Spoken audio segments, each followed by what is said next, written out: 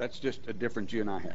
Okay. I think we'd have to And- and agree to again- disagree. Thank you for coming. Thank Yeah, you. thank you. I want to clarify one thing. Um, I have the list of the, uh, since we've been talking about the biology panel, um, the, the, nu- let's see, dietitian actually has a degree in food science technology, and they have to take all kinds of science Well- courses, I know, at, at colleges.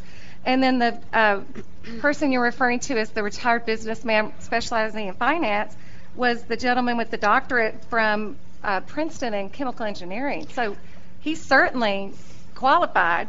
I'm looking at this list, and I'd be happy to show it to anybody who wants to look.